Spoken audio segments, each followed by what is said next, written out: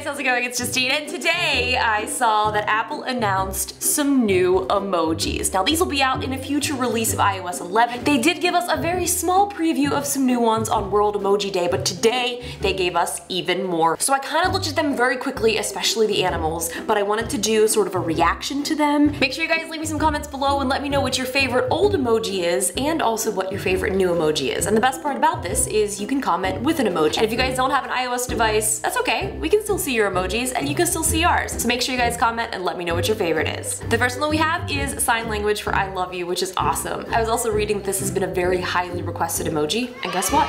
Here it is. Next, oh, we finally have the giraffe. This is legendary. And to go with the giraffe, the zebra. I recently went to Napa and we did this really cool safari where we saw giraffes and zebras and I was trying to tweet about it and I realized, what? There's no giraffe or zebra emoji, but guess what else there is? A porcupine and a dinosaur, a cricket, and oh, this isn't this isn't an animal. I, I, think this is a dumpling or like a we call them pierogies. Does anybody know what a pierogi is? Pierogies are pretty famous in Pittsburgh. They even have at the Pirates games, which is our baseball team. They have pierogi races where they have these people dressed up in costumes and they chase each other around the field. It's kind of silly. I'm not sure if they still do that. It's been a very long time since I've been to a Pirates game. Ooh, we've got some delicious takeout food. This is interesting. This is uh, a a piece of broccoli. A little broccoli floret.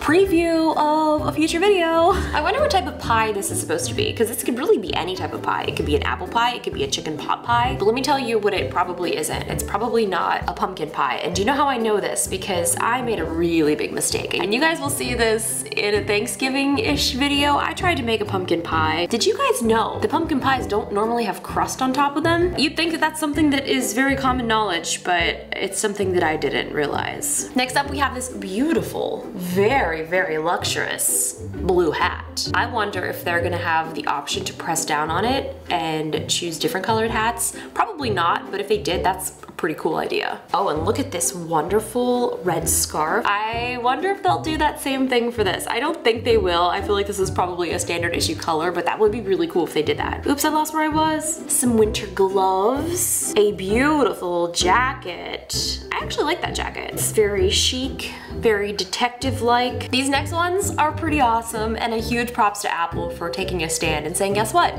We're gonna do this. They have non-gender emojis. So these are amazing. So here's one, here's the next, and here's the third. I think it's pretty cool. Let me know what you guys think. And next, in addition to all of the other heart emojis, they have a new orange heart. I'd say probably my favorite heart out of all of them is the black one and the purple. Next, we've got this wonderful wizard. We have a, I'm not really sure what they're calling this, but it kind of looks like a little Tinkerbell, a vampire, which is perfect timing for Halloween, and a mermaid. I feel like this is definitely long overdue. Here's a few of the new face emojis. We've got this one, I'm not really sure sure what's going on with this little guy. He's just kind of like, this I will definitely use all the time. It's the shh emoji. I feel like there's so many times when, well, probably my sister will mostly use it on me. I'll just be yapping about something and it's gonna be the perfect time for one of the shh emojis. This is also very interesting because it's one, two, three, four, five. Five character swear word. And I'm going through the list of swear words that could possibly be, and I feel like most of the really bad ones are four letters. So it's kind of a good thing that it's five letters because it's more or less like, you know, we're not saying a bad, bad word. We're just saying, I'm not sure. I would say comment below with a swear word that you think it is, but I do not want you to do that. And I have swear words blocked, so you can't say them anyway in my comments. this one I like a lot. I love the little eyeglass guy. This is one of those things that I feel like me and my sister will use when we're, not that we would ever do this, but if we were to say, you know, stalking somebody on the internet, creeping on their Instagram or on their Twitter, this is one of the perfect emojis for that. I mean, we never, ever do that. I mean, you guys probably don't do that ever. Like, come on. This is a little sled. So this is in kind of like the health and fitness wellness section. I guess, I'm not really sure. I mean, I feel like this is one of those things that like, I don't, mm, I'm not really 100% sure. I'm just rambling now because I'm trying to figure out what the sled is for. I mean, is this like a dog sled? Is this like a fitness sled where you like put things on it and then you push it and pull it and get real fit? I'm still not really sure what this is. I think this is something else for fitness. Go like this when you're doing like push-ups or something.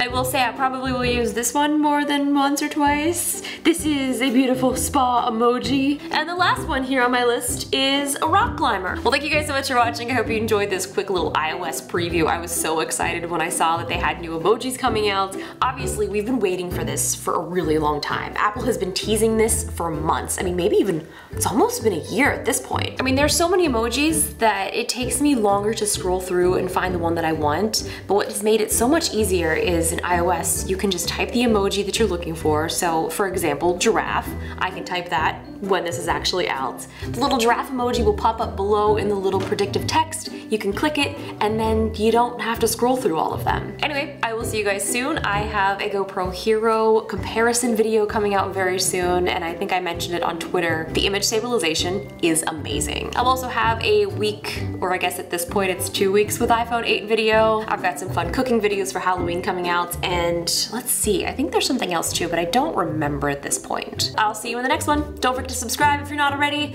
and uh, that's all. I'm gonna go edit this video. Bye!